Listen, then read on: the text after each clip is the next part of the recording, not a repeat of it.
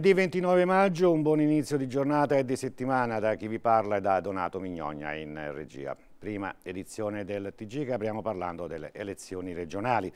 L'ufficio circoscrizionale elettorale ha infatti concluso le verifiche sulle liste presentate per le elezioni regionali.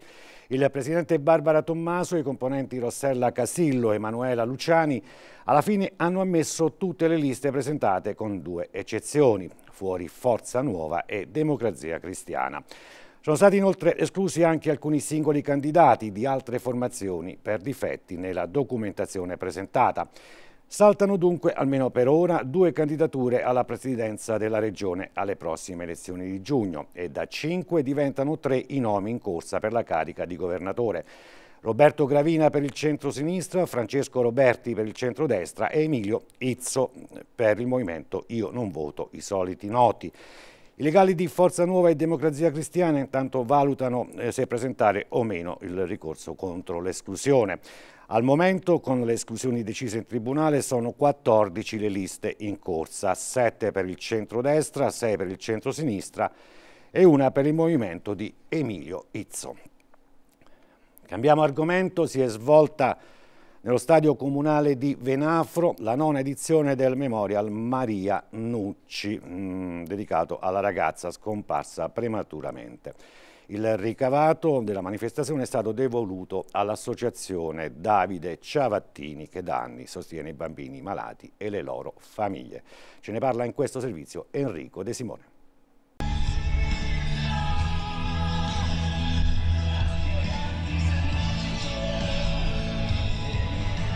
Allo stadio Marchese del Prete di Venafro il ricordo di Maria Nucci, una ragazza solare, intelligente e ben voluta da tutti, scomparsa nel fiore dei suoi anni a causa di una malattia.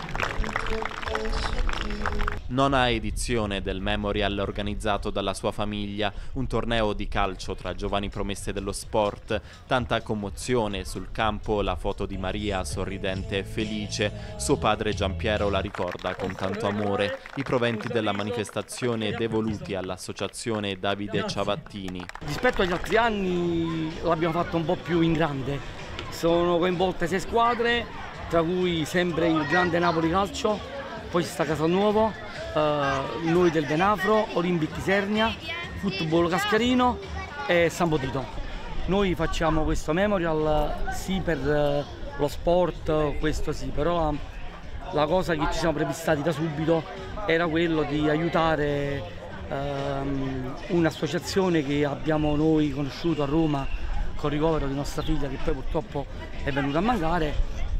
Questa associazione eh, si occupa strettamente delle famiglie che hanno eh, problemi a, a sostare a Roma quando sono i figli ricoverati con questa malattia. Sono 30 anni che in seguito alla morte di mio figlio eh, Davide e abbiamo costituito questa associazione e siamo di supporto al reparto di oncoematologia del Bambino Gesù con tanti progetti e in più abbiamo una casa famiglia dove ospitiamo eh, ad oggi 17 famiglie, tutto gratuitamente. Realmente veniamo con eh, grande gioia e con grande partecipazione a questi eventi, anche se sono eventi che ricordano dei momenti tristi per le famiglie che sono state colpite eh, da questi lutti, noi vogliamo trasformarlo in un momento di gioia, in un momento di speranza, che è in definitiva quello che è l'obiettivo della nostra associazione. Grande partecipazione, dedizione ed entusiasmo per un'altra edizione di successo del Memorial. Questo è un evento straordinario perché coniuga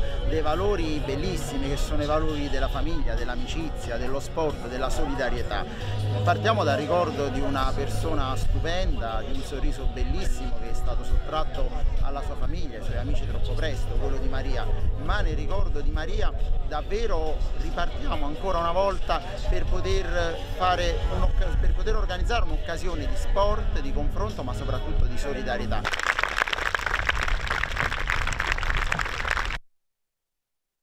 Ed è tutto per la prima edizione del TG, adesso uno sguardo ai quotidiani locali e nazionali. Partiamo da primo piano, anche qui in evidenza le eh, prossime elezioni regionali, fuori pure la DC Molise nell'agenda dei big. Intanto protesta l'ex ministra Trenta, ma alla lista presentata oltre il limite manca anche il collegamento col candidato presidente. Ok le formazioni di Roberti, Gravina e Izzo, già programmate le tappe di Donzelli e Conte. E intanto Rita Iacobucci firma oggi la rubrica Il Punto, il sindaco del Molise ed è un focus sulle elezioni.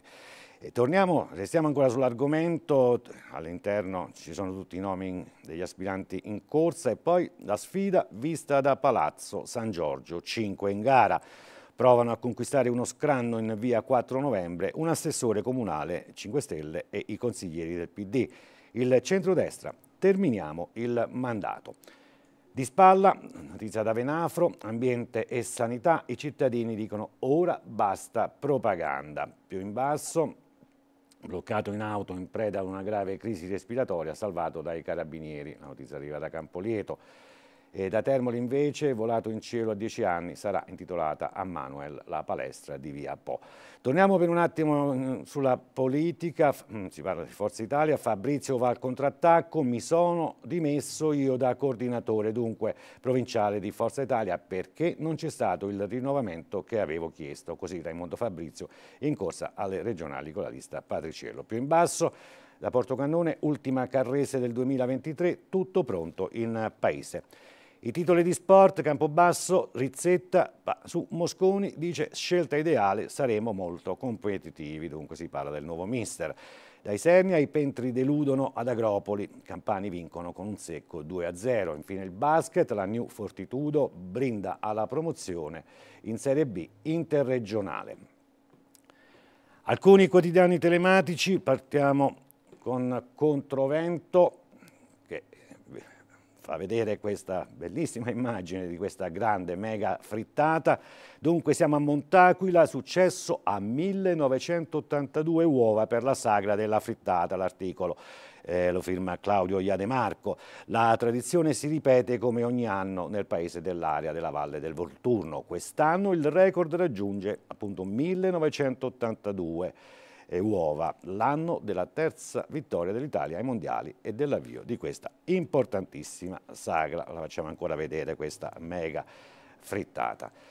Da Controvento passiamo a Is News che si occupa di crisi demografica e aree interne, sfide e soluzioni per Isernia uno sguardo critico al fenomeno dello spopolamento con le proposte di ricerca della Fondazione Magna Carta, cioè tutelare il welfare, rendere più dinamico il mercato del lavoro rimettendo in moto l'ascensore sociale e affrontare le grandi questioni legate alla gestione della terza età. L'articolo porta la firma di Leonardo Accardi. I quotidiani nazionali, qui il tema prevalente di oggi è il PNRR, iniziamo dal Corriere della Sera che titola così in apertura Lite sul PNRR, l'Europa apre. Dunque l'opposizione attacca, l'Unione Europea parla di dialogo con Roma, parla anche, interviene il ministro Tajani, non perderemo i fondi. E leggiamo ancora sul Corriere, reddito di cittadinanza, le domande giù del 25%. Oggi si chiudono i ballottaggi nelle città, affluenza in calo. Dunque questa è la sintesi della giornata di oggi.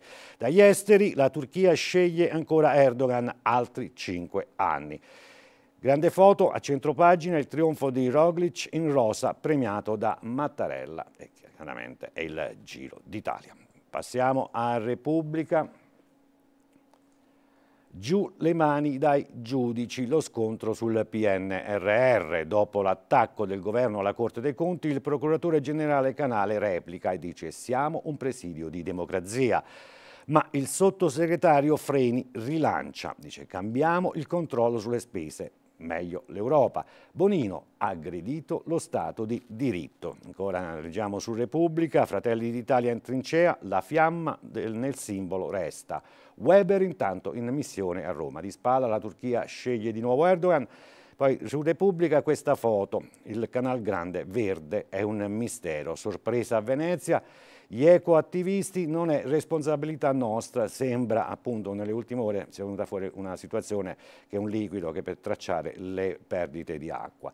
Vedremo se sarà confermata questa notizia. La stampa, anche qui, Corte dei Conti, meno poteri, un attacco alla democrazia. C'è un'intervista al procuratore generale Canale che dice c'è disagio, noi tuteliamo i cittadini.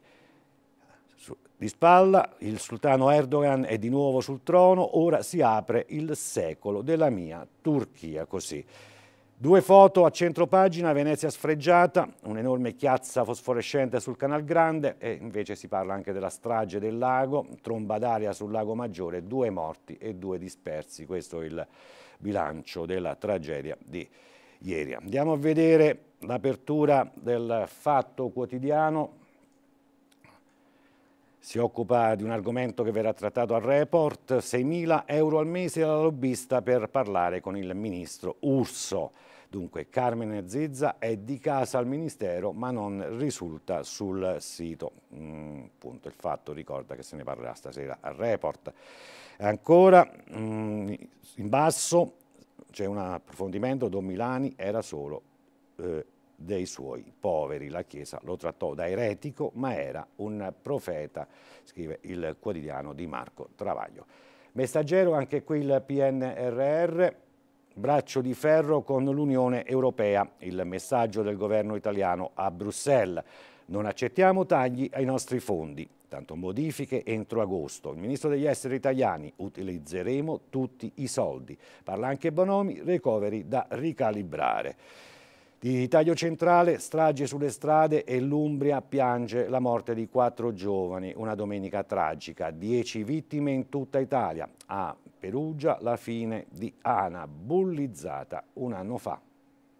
Proseguiamo con Libero, che si scrive così, si parla dello scherzetto di Tridico, vediamo un po', beffa sulle pensioni, conti da rifare somme erogate in eccesso su reversibilità e assegno unico. Il presidente uscente ordina i controlli e chiede indietro i soldi, dunque ecco spiegato che cosa significa lo scherzetto di eh, Tredico.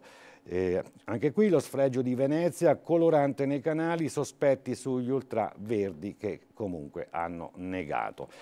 L'informazione economica e finanziaria con il Sole 24 Ore, come ogni lunedì si occupa di um, argomenti specifici con degli approfondimenti, in particolare oggi il Festival dell'Economia.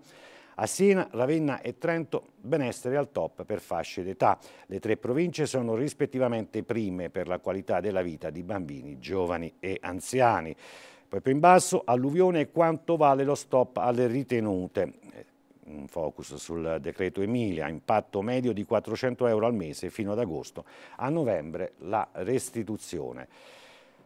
Dal Sole 24 Ore al Secolo d'Italia, Meloni porterò l'Italia nella Terza Repubblica, l'editoriale ha la firma di Carlo Marini che riprende il lead e un virgolettato, abbiamo preso un impegno chiaro con il popolo italiano e intendiamo rispettarlo. Più in basso mh, mm, si parla di Lucia Annunziata, si è dimessa, anzi no, resto altre quattro puntate. Lo sport, Euro Diavolo, titola la Gazzetta, il Milan con Giroud affonda la Juve e va in Champions. Pioli fa festa ma avverte, se vogliamo competere bisogna rinforzare la rosa. I bianconeri fischiati, allegri, noi terzi sul campo. E in alto Giro d'Italia, il trionfo di Roglic, Rosa d'Italia, festa di popolo per il re del Giro, premiato a Roma dal presidente Mattarella. Cairo dice corsa straordinaria. Vedete dove finisce la Formula 1? In basso il Gran Premio di Monte Carlo, Verstappen, Principesco, Leclerc è andata male, è andata male per l'ennesima volta alla scuderia Ferrari. Vediamo le notizie dell'Abruzzo con il centro morti in montagna, oggi l'addio. Pescara sotto shock dopo la tragedia di sabato sul Gran Sasso. In giornata l'ultimo saluto a Camplone e Toro. Parla la madre di Gianluca, dalla cima mi ha scritto era felice. Gli amici di Raffaello, era una guida esperta. Grande foto, ombrelloni, lettini e palme, ecco i prezzi dell'estate in Abruzzo. L'indagine sugli aumenti nelle località della costa. Più in basso, violenza sessuale condannato a sei anni. Un pescarese avrebbe abusato di una quattordicenne dopo la festa a casa della madre. E infine un paese con il terrore del lupo, il caso Atessa, altri cani sbranati. Qui si vive nella paura, hanno detto in tanti. Le pagine locali nel centro l'apertura, come vediamo, è la stessa, anche la notizia di taglio centrale, siamo nell'area di Teramo. Rischia il pestaggio dopo uno scippo, eh, si impossessa della borsa e siamo a Teramo e viene inseguito dai passanti. Un poliziotto lo salva. Escursionista di Sulmona muore a 49 anni per un malore. Poi di taglio basso, lavoro in tribunale e protesta. Eh, no al trasloco, gli interventi si possono fare anche di notte.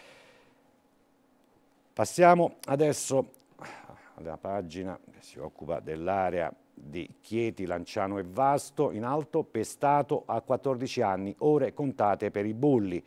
Si stringe il cerchio intorno ai due autori dell'aggressione a Chieti, diventata virale sui social. Poi c'è anche quest'altra notizia, schianto in auto, feriti due fratellini. La notizia arriva da Atessa, in ospedale bimbi di 1 e 8 anni, la mamma, un altro conducente eh, la mamma e l'altra conducente, illeso il papà. Passiamo adesso alla pagina si occupa delle notizie che arrivano dall'Aquila, Vezzano e Sulmona.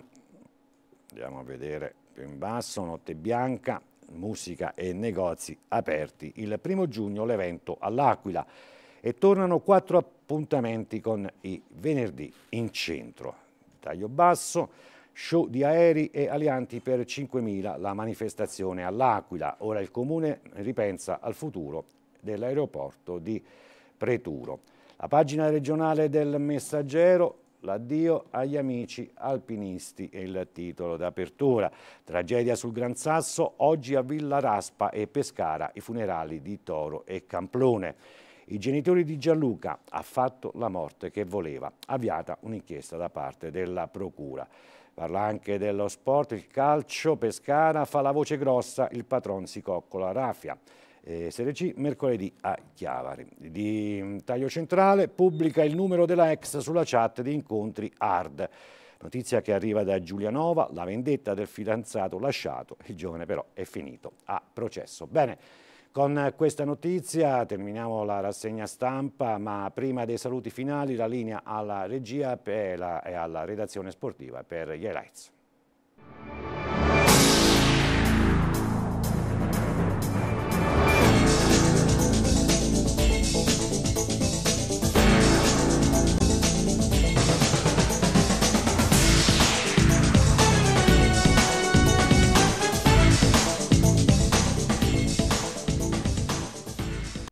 Carovilli si impone a Valanga sul Morcone per 7-2 garantendosi la possibilità di conquistare la zona playoff nell'ultimo turno di campionato.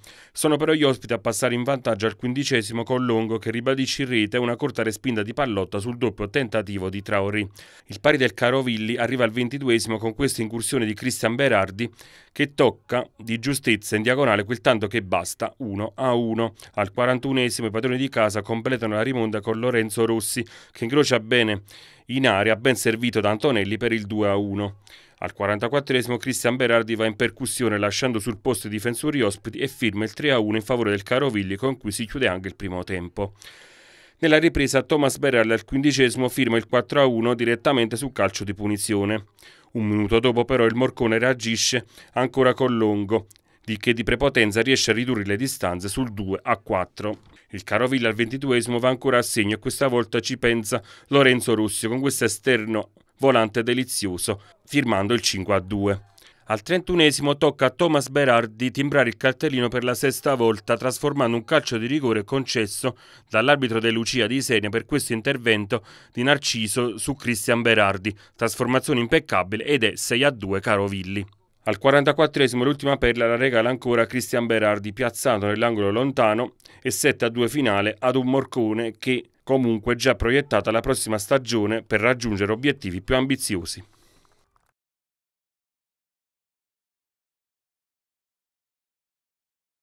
Al ventiduesimo della ripresa Luca Centracchio, Bucarongione per l'1-0 in favore della Volturnia. Il numero 7 si replica al 35esimo direttamente da calcio di punizione 2-0 e al 38esimo Gargiulo su calcio di rigore per il definitivo 2-1 tra la Volturnia ed il Pozzilli.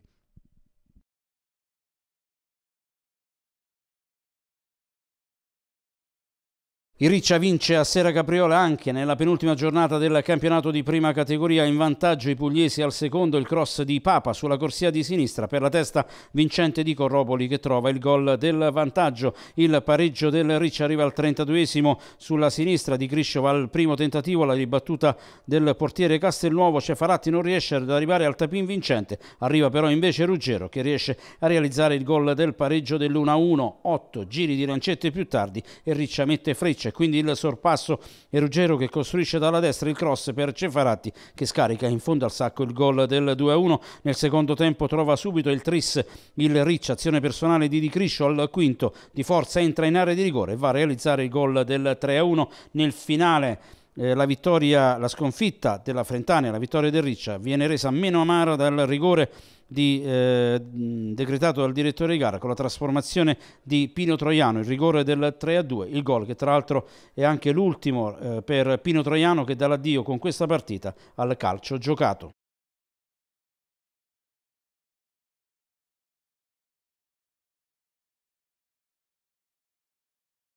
Al Pinto la Chaminade Bus ospita il Macchiaval Fortore. Vediamo gli highlights del match. Trentesimo Presutti con questo tocco morbido batte Paolucci 1-0. 2-0 che arriva al primo minuto del secondo tempo con Cassim bravo di piatto a battere il portiere servito da Palladino 2-0. Minuto 30 dal dischetto Coccolo accorcia per gli ospiti 2-1. Finisce qui. Chaminade Busso batte Macchiaval Fortore 2-1.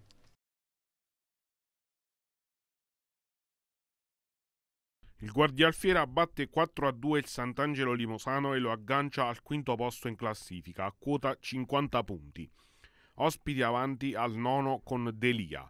Il raddoppio porta la firma di Minotti al minuto 30. Il Guardialfiera accorcia le distanze con Giuseppe Greco al 39. Nella ripresa i locali completano la rimonta grazie a Pietracupa che al decimo firma il 2-2. Nove minuti dopo è Giuseppe Greco con la sua personale doppietta a portare avanti il Guardialfiera, che in pieno recupero al 49 firma anche il 4-2 con l'autorete di Donatone.